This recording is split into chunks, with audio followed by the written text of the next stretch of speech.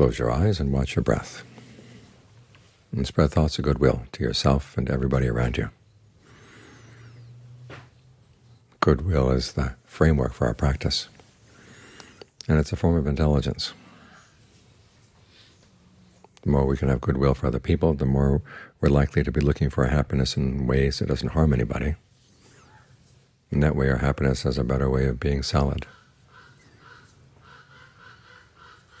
I was reading about people on Wall Street thinking they're the smartest people in the world, and then the hedge fund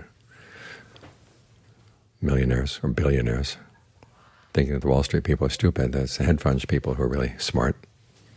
But it's defining smart in the wrong way smart in the sense of how you can squeeze money out of other people without doing the least amount of effort.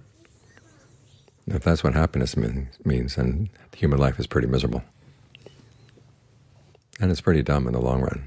If your happiness harms other people, then they're not going to stand for it. It's best where your happiness is totally harmless. So whenever you're tempted to think thoughts of goodwill, or excuse me, thoughts of ill will for other people, try to correct that with goodwill may not be as innate as some people say, but it can be developed. We have goodwill for some people already. It's just a matter of learning how to spread that attitude toward everybody. That way we can guarantee that our actions with regard to everybody will be more likely to be skillful. If you genuinely have some good will for somebody, it's hard to mistreat them, hard to abuse them. So think goodwill in all directions.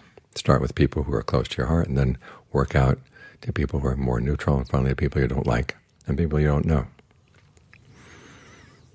Because in the course of the day you may run into some people you've never met before, so prepare yourself that those people may not be as nice as you'd hope as they come out of the anonymous background.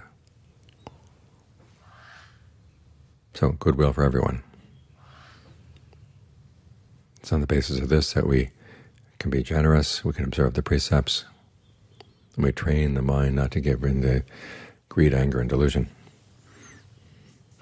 all of which will be for our welfare and happiness and be totally harmless. So real intelligence lies in having goodwill, practicing goodwill, developing it, so it becomes, as the Buddha says, a sublime abiding, or Brahma abiding. It lifts the mind above its ordinary hu human level to something more refined, something more noble.